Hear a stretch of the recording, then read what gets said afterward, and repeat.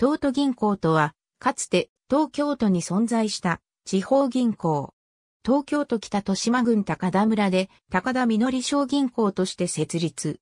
開業当初は地元の地主や商工業者が中心だったが、1920年に堤康次郎が経営権を掌握。堤系の箱根土地や武蔵野鉄道などの機関銀行となった。東京都内に本店を置く中小銀行のほとんど、すべてが経営破綻や大銀行への吸収併合の道を辿る中で、同行は土地担保の融資が主であったことと包みの持ち株を担保として日本銀行から手形借り入れを受けたことから、本店のみの営業にとどまりながら、なんとか存続した。加えて、預金量が桁違いに少なかったことから、戦時統合にも参加せずに戦後まで名脈を保った。終戦直後に横浜賞金銀行頭取を務めた小玉健二らが買収、家境資本導入を目指して東銀行として解消するも頓挫。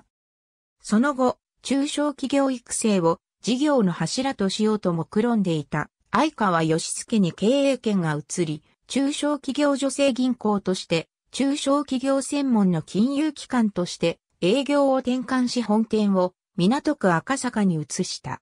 しかし、相川も中小企業育成事業を間接金融主体から直接金融主体に見直し、東都銀行に再三解消して地方銀行として細々と営業を継続。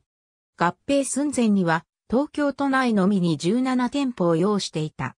1968年に当時中小企業関係の金融を強化しようとしていた三井銀行と合併。すでに1964年には同じ地方銀行の朝日銀行が第一銀行に吸収されていて、東京都内に本店を置く地方銀行は戦後地銀の東京都民銀行のみとなった。